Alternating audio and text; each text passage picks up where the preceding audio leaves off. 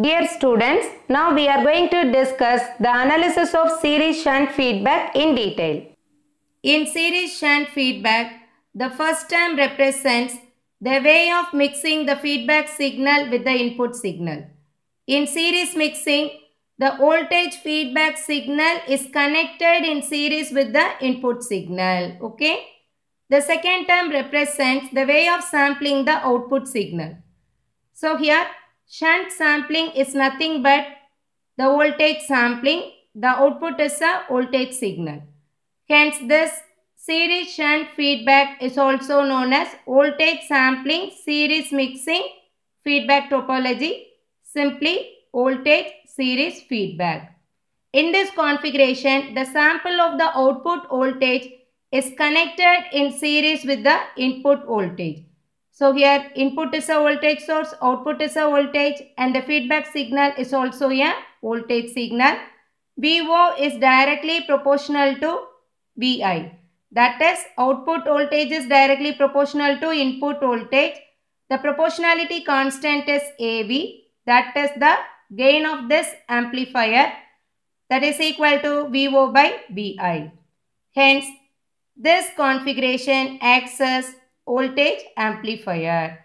So, for this voltage amplifier, that input resistance or input impedance is high, output impedance is low. This is the diagram of series shunt feedback amplifier. The input is a voltage signal, output is a voltage signal VO. Here we can take this output across this load resistance.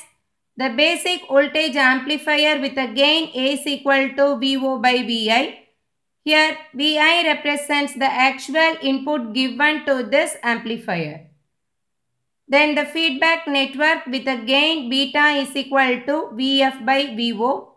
Here VF is the feedback voltage signal that is equal to beta into VO. Okay. So we are going to take the samples of the output voltage. It can be done by using shunt sampling method. That is parallel sampling method. It is also called as voltage sampling. The feedback voltage signal can be connected with this input signal in series. Do you all understand? So, voltage feedback signal can be connected only in series with the input side. You have to remember that from this diagram, the gain of the amplifier without feedback AV is equal to VO by VI and the feedback factor beta is equal to VF by VO. Next, we are going to discuss the gain of the feedback amplifier. It is the ratio of output voltage to the overall input voltage. It is represented as AVF that is voltage gain with feedback is equal to output voltage to the source voltage. From this diagram, we can understand that the actual input given to this amplifier is equal to source voltage minus feedback voltage. Since we are using negative feedback, we can subtract this feedback signal from the source signal to get the actual input voltage. So here we can write the input voltage to the amplifier is Vi that is equal to Vs minus Vf. We can move this Vf to this side as plus. So Vs is equal to Vi plus Vf. This Vf can be replaced with the term beta into V naught. Okay. Then this VO output voltage can be replaced with the value AV into Vi. As we know that AV is equal to what? VO by VI. From this we can get VO is equal to AV into VI. Then we can take this VI as a common term. Then Vs is equal to Vi into 1 plus AV beta. VO is equal to what? AV into Vi. Then we are going to substitute these two values in this AVF formula. So that is equal to VO by Vs. VO can be replaced with AV into Vi. Vs is equal to Vi into 1 plus AV beta. Then we can divide this Vi value. Finally, we can get the gain of the amplifier with feedback is equal to AV by 1 plus AV beta. So here the gain is decreased by the factor 1 plus AV beta thereby increasing the stability. Do you all understand? Before going to analyze the input impedance and output impedance, we should understand the concept of small signal equivalent circuit of this series shunt feedback. Here the input signal is a voltage signal. So we can use this voltage source. Here the feedback signal is also a voltage signal that is connected in series with this input signal. Okay. So input source and then the feedback signal both are in series connection. This VF value is nothing but beta into VO. Amplifier can be represented like this. Ri is the input impedance or input resistance for this amplifier. The gain of the amplifier is AV that is multiplied with the input voltage to produce the output voltage. Okay, then RO represents the output impedance which is connected in series with this voltage signal. Do you all understand this? And then the load resistance RL. So this is the small signal equivalent circuit of this series shunt feedback. Okay. So next we are going to find out the input impedance for this feedback amplifier.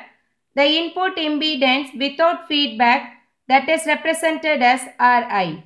Okay, you can see this without feedback. So we can exclude this feedback. If you are going into looking into this side, we can say the Ri value is equal to what? Vi by Ii without feedback. If you are going to include this feedback, we can say the input impedance with feedback RIF is equal to Vs by Ii. Do you all understand this?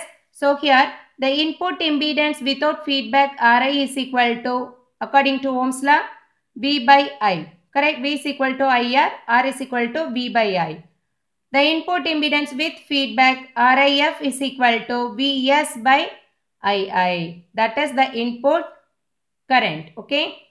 Next we are going to apply KVL to the input side to get the value of this Vs.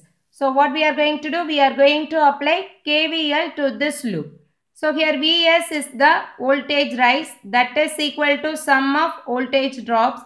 So what are the voltage drops here? That is Ii into Ri correct that is one voltage drop and this Vf. This is also a voltage drop plus to minus. So after applying KVL to this input side we can get Vs is equal to Ri into Ii plus Vf. Do you all understand this concept? So now we can get Vs is equal to Ii plus Ri plus Vf. This Vf can be replaced with the value beta into V naught then V naught can be replaced with the value AV into VI. Then we can write this VI as a II into RI. Do you all understand? V is equal to I into R. Then we can take this II input current into the input impedance as a common term. Then we can get Vs is equal to II Ri into 1 plus AV beta. Then we are going to move this II that is input current to this side.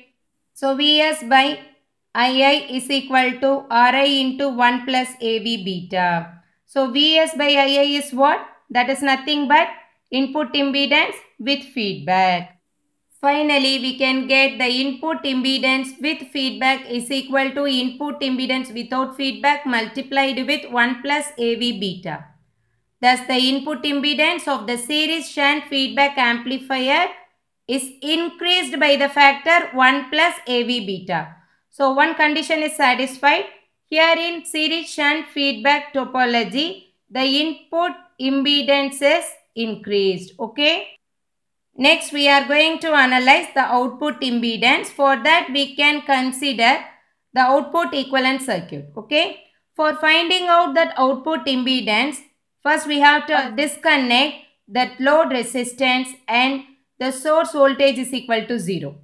So for finding out that output impedance we have to assume two things. One is to disconnect that load resistance and the source input is 0.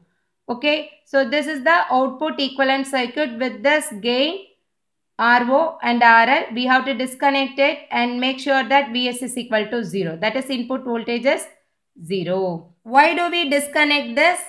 Load impedance, okay? Because we have to analyze the output impedance with feedback from this point of view. After that, we can include this. So here the output impedance without this load resistance is called as ROF with this load resistance ROF dash.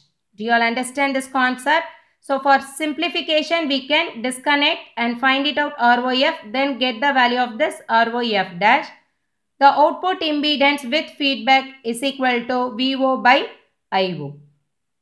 For getting this value we, we have to apply KVL to this output side. Okay. So here voltage rises, output voltage VO that is equal to the sum of voltage drops. So here we can say IO RO plus AVBI. We can write the value like this. VO is equal to IO RO plus AVBI. As we know that the source voltage is 0. Here input voltage VI is simply minus VF. So we can replace this Vi with the value minus Vf. Then we can get IO minus AV. This Vf can be replaced as beta into V naught. Correct? Then we can move this beta into V naught term to this side to make this VO as a common term. So we can get the value as VO plus AV beta VO. This minus becomes plus while moving this side. Okay is equal to IO or O. VO is a common term. We can take it outside. Then VO into 1 plus AV beta is equal to IO or O. Then we can move this IO to this side as a denominator value and also move this 1 plus AV beta to this side as a denominator value. So here VO by IO is equal to RO by 1 plus AV beta.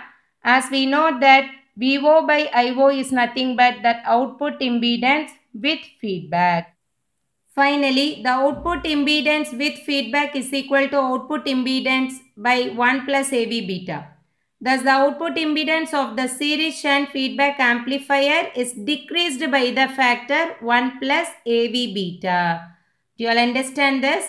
Okay. So, next we are going to get the output impedance with the load resistance value that is represented as ROF dash that is nothing but ROF parallel with RL because this is the circuit right. So this is AV VI that is in series with this RO. We can get that output impedance ROF at this point that is connected in parallel with this RL. So this RL is in parallel with this ROF is equal to ROF dash.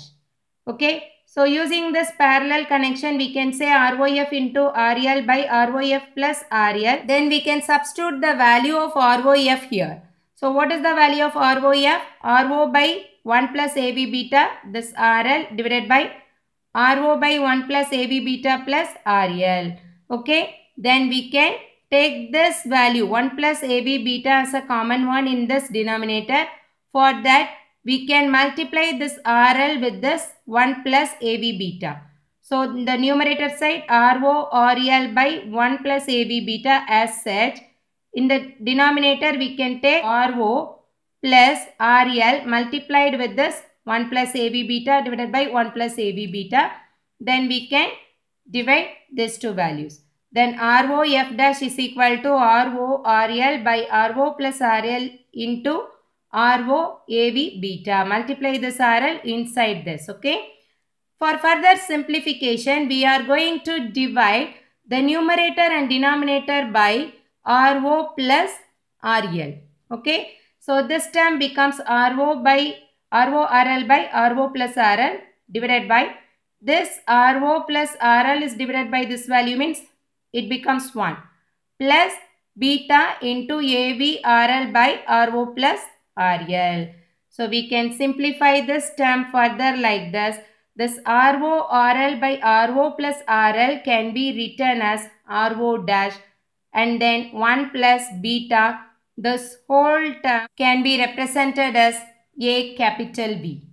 So here this RO dash is nothing but the parallel form of RO and RL. Here AV is nothing but small v. Small v represents the gain of that amplifier without RL. Okay. Capital V represents the gain of the amplifier with RL. Okay. This is the answer.